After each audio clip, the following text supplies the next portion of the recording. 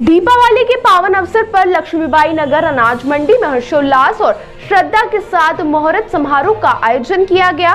तो वहीं मंडी संस्था के अध्यक्ष श्री सुरेंद्र राठौर ने बताया कि कार्यक्रम का शुभारंभ प्रथम पूज्य गणपति बप्पा, माँ लक्ष्मी, माँ सरस्वती एवं अन्य देवी देवताओं के पूजन के साथ किया गया। इस अवसर पर सभी व्यापारियों ने मंत्रोच्चार के बीच विधि पूर्वक पूजा अर्चना की।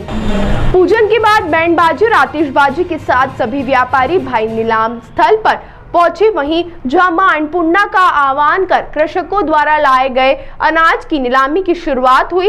इस वर्ष सोयाबीन की नीलामी की शुरुआती बोली पाँच हज़ार सौ पचपन रूपए और गेहूँ की दो हज़ार नौ सौ एक रूपए से रखी गई। इसके उपरांत सुबह साढ़े दस बजे इक्यावन कन्याओं का पाठ पूजन किया गया और 201 ब्राह्मणों द्वारा मंत्रोच्चार के साथ दीपावली मिलन समारोह प्रारंभ हुआ। इस आयोजन में वरिष्ठ अन्नदाता, किसानों व्यापारी गण और श्रमिक भाइयों का शॉल और श्रीफल देकर सम्मान किया गया। अंत में सभी व्यापारी, किसान भाई, श्रमिक भाई, मंडी अधिकारी एवं कर्मचारियों ने एक साथ प्रसाद का आनंद लिया। वहीं इस मौके पर शहर के कई गणमान्य लोग उपस्थित रहे।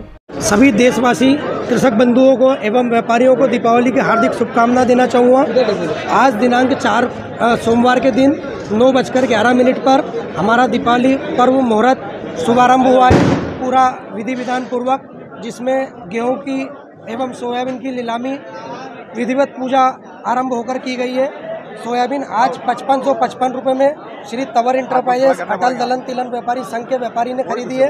इसी प्रकार गेहूँ का भी नीलाम जो है हुआ है और सभी देशवासी एवं कृषक बंधु व्यापारी बंधुओं को दीपावली की श्री अटल दलन तिलन व्यापारी संघ की ओर से इंदौर इंदौर कृषि उपज व्यापारी संघ की ओर से हार्दिक हार्दिक शुभकामनाएँ एवं बधाई। आपका परिचय मेरा परिचय मैं सुरेंद्र राठौर श्री अटल दलन तिलन व्यापारी संघ अध्यक्ष।